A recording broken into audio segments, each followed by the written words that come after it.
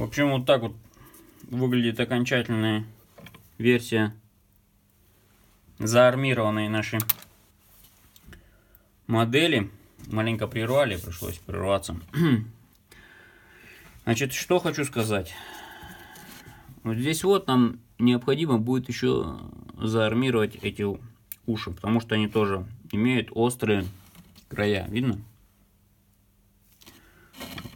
Сейчас, если мы будем армировать, то у нас перекроются две марли.